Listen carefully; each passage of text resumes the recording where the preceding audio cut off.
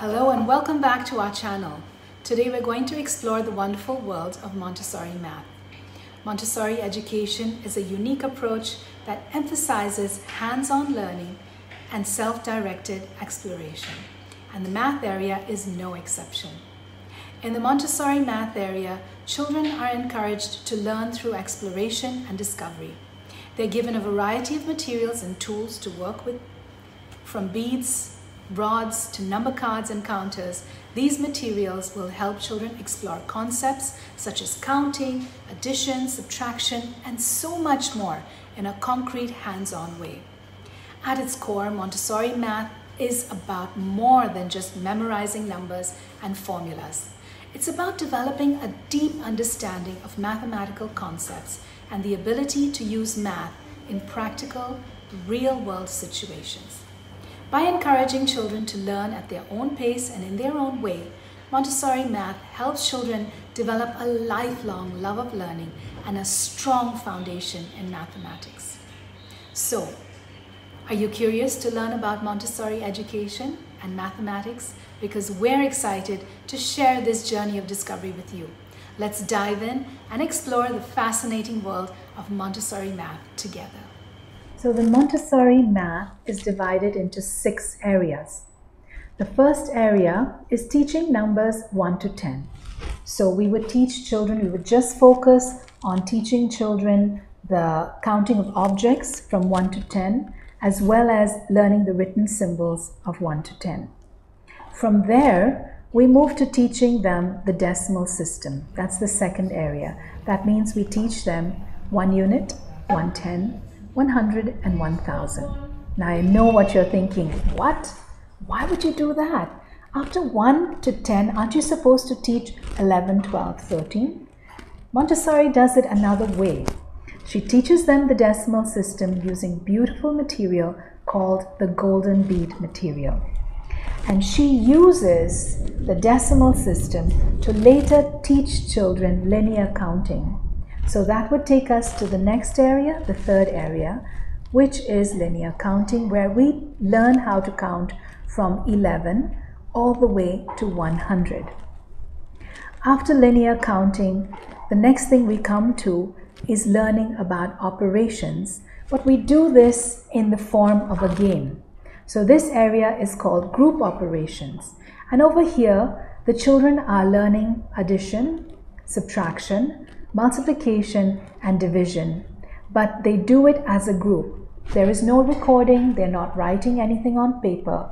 We use the golden bead material once again and we teach them how to do four digit addition with changing and without changing. For example, learning how to do sums like 1235 plus 3122. Same, we would do this with uh, carryover. We would do this with subtraction, with subtraction and borrowing, with multiplication, with division. And I can see many people out there thinking, what? Why are children doing four digit operations before they do simple addition or simple subtraction? The reason for this is that we use these golden bead materials, which are large materials and you can see in the pictures that I'm attaching here. And children see large quantities come together and they understand physically the concept of addition that I have two small quantities, I bring it together and I get all these beads. That's what happens when I add. When I subtract, I have this big quantity of beads and I take away something and I'm left with something small as well. So, in a very physical way, she's trying to give them an understanding of these operations, which is why we do these large numbers to start with. We then come to the fifth area, which is introduction to recording. So now we're going to be doing operations again, but this time we will do simple addition, simple subtraction, multiplication, and we're doing it now by recording on paper simple sums. We've done a lot of these materials and I'm going to link all of our math materials in the description box and I'll try and link many above here so you can watch the math activities. So we teach them uh, how to put numbers together, how to put quantities together and they become bigger, how to decompose quantities for subtraction. We learn about multiplication, um, we learn about bonds of 10, we use the beads, we use the strip boards, and then we finally come to our sixth area, which is individual operations. Again, we come back to doing uh, four digit operations, but this time the children are doing it individually and using some cards to do it on paper.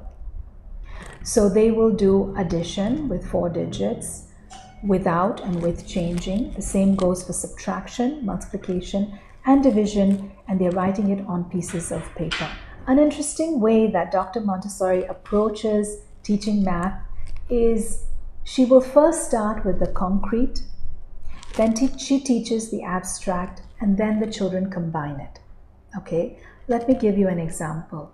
First, we teach children how to count objects or counting up to 10. Then we will teach them how to write the symbols for 1 to 10. And then we combine the two by telling them to count objects and match it to the corresponding symbol. This is a pattern that follows throughout. We will learn the concrete, we will learn the abstract, and then we combine it to bring our learning together. Montessori math is really very, very interesting and very beautiful. If you've watched all the videos that we've done on Montessori math, you can see that she has made a very otherwise abstract subject something that children can touch, feel, and experience. And when children do this, when they're able to manipulate objects to get an understanding of addition or subtraction or hundreds and thousands, it really makes the information sit with them and stick with them. I don't know how many of you have been through this, but I struggled a lot with mathematics when I was going to school. And the more I struggled, the dumber I felt the more stupid I felt, the more useless I felt, and it just kept getting harder, and my self esteem kept going lower. But the minute I got the understanding, I got a teacher in my last year of high school who helped me to really understand it, and that's when I felt empowered to tackle numbers. The world of numbers wasn't so scary. I didn't feel dumb. My self esteem went up, and I went on to score an A in my O levels. Now imagine young children having that feeling of empowerment right from the age of three when they start working with the math materials. Why should they ever struggle like we did? Why should they feel less than for, you know, something that anybody can do, right? This is the beauty of Montessori math, is that it empowers every child to have confidence in working with numbers because they understand the concepts at a sensory level. They're able to uh, take in the concept and it sticks with them because we've talked about this. The child has an absorbent mind. What we teach them in these golden years, these first six years of life, stays with them, and that becomes their foundation for math, which they will carry forward for the rest of their life. They develop a love for numbers, they develop a confidence in doing mathematics, and they're able to go forward into elementary school with this confidence that they have.